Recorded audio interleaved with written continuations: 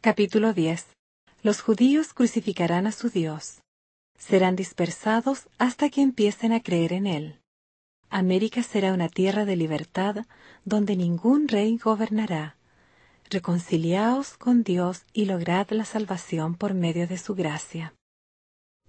Y ahora bien, yo, Jacob, os hablo otra vez, amados hermanos míos, concerniente a esta rama justa de la cual he hablado pues he aquí, las promesas que hemos logrado son promesas para nosotros según la carne.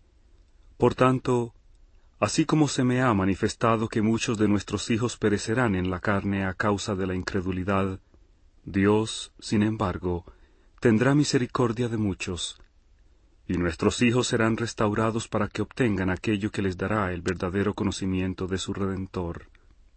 Por tanto, como os dije, Debe ser menester que Cristo, pues anoche me dijo el ángel que ese sería su nombre, venga entre los judíos, entre aquellos que son de los más inicuos del mundo, y ellos lo crucificarán. Porque así conviene a nuestro Dios, y no hay ninguna otra nación sobre la tierra que crucificaría a su Dios.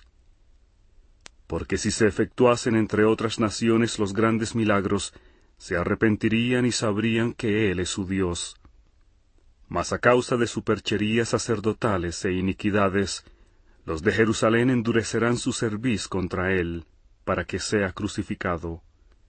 Así que, por motivo de sus iniquidades, vendrán sobre ellos destrucciones, hambres, pestes y efusión de sangre, y los que no sean destruidos serán dispersados entre todas las naciones.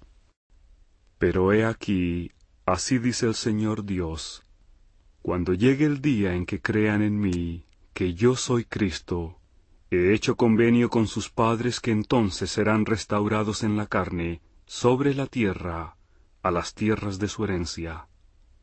Y acontecerá que serán congregados de su larga dispersión desde las islas del mar y desde las cuatro partes de la tierra, y serán grandes a mis ojos las naciones de los gentiles, dice Dios, en llevarlos a las tierras de su herencia.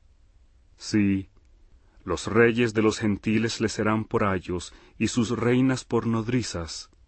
Por tanto, grandes son las promesas del Señor a los gentiles, porque Él lo ha dicho, y quién puede disputarlo. Mas he aquí, esta tierra, dice Dios, será la tierra de tu herencia, y los gentiles serán bendecidos sobre la tierra. Y esta tierra será una tierra de libertad para los gentiles, y no habrá reyes sobre la tierra que se levanten sobre los gentiles. Y fortificaré esta tierra contra todas las otras naciones, y el que combata contra Sión perecerá, dice Dios. Porque quien levante rey contra mí perecerá, pues yo, el Señor, el Rey de los cielos, seré su rey, y eternamente seré una luz para aquellos que oigan mis palabras. Por lo tanto, por esta causa, a fin de que se cumplan mis convenios que he concertado con los hijos de los hombres, que realizaré para ellos mientras estén en la carne, he de destruir las obras secretas de tinieblas, y de asesinatos, y de abominaciones. De modo que quien pugne contra Sión tanto judío como gentil, esclavo como libre, varón como mujer, perecerá, pues son ellos los que constituyen la ramera de toda la tierra, porque aquellos que no son conmigo, contra mí son, dice nuestro Dios. Porque cumpliré mis promesas que he hecho a los hijos de los hombres, que realizaré para ellos mientras estén en la carne. Por consiguiente, mis amados hermanos, Así dice nuestro Dios, afligiré a tu posteridad por mano de los gentiles. No obstante, ablandaré el corazón de los gentiles para que les sean como un padre.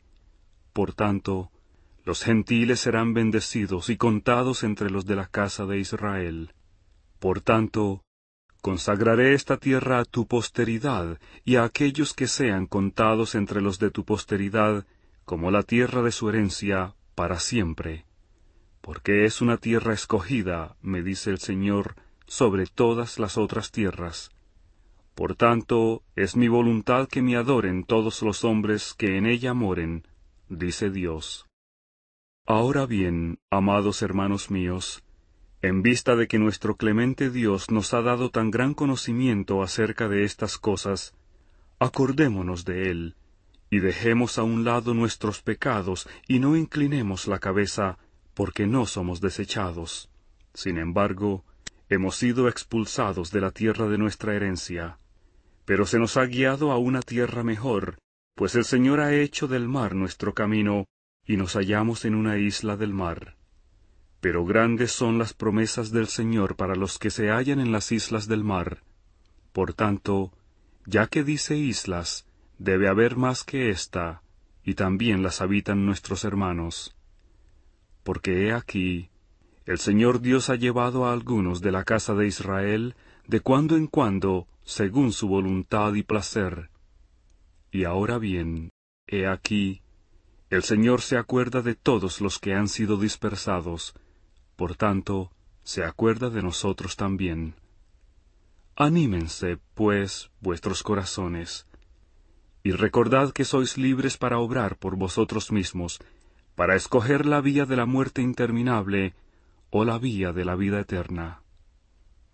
Por tanto, mis amados hermanos, reconciliaos con la voluntad de Dios, y no con la voluntad del diablo y la carne, y recordad después de haberos reconciliado con Dios, que tan solo en la gracia de Dios, y por ella, sois salvos. Así pues, Dios os levante de la muerte por el poder de la resurrección, y también de la muerte eterna por el poder de la expiación, a fin de que seáis recibidos en el reino eterno de Dios, para que lo alabéis por medio de la divina gracia. Amén.